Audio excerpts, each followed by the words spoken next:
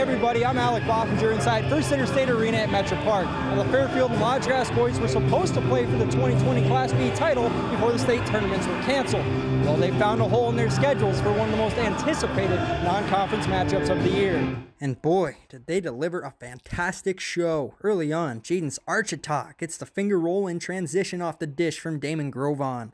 But these two sides traded baskets all night. Big man Braden Colwick lines up the long two and knocks it down.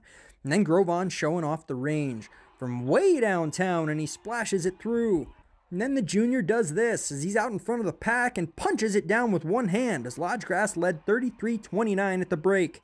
Fast forward straight to the fourth quarter now. Fairfield trailing by three when Gavin Mills uncorks this one from long range to tie it up. Fairfield would then take the lead. Daniel Faith getting all the way to the basket and warding off the defenders for the finish, and we'd go to overtime.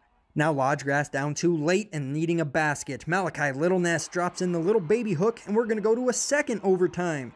Mills hit some big shots for the Eagles all night. They ruled this one a long two, though. Sure looked like his foot was behind the line. Lodge Grass in desperation mode again. Under 30 seconds to play, and Grovon reigns in another three to tie it at 77 and force a third overtime period. Fairfield would again gain an advantage. Gidry Giles going baseline and finishing in traffic.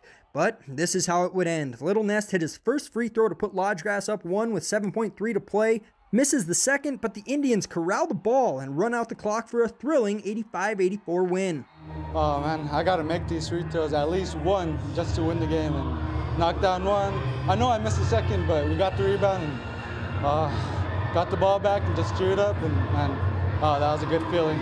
Oh man, those guys are pretty good. They're, they're, competitors, you know, just like us, and just to go out there and play them and just to have like a rematch felt pretty good.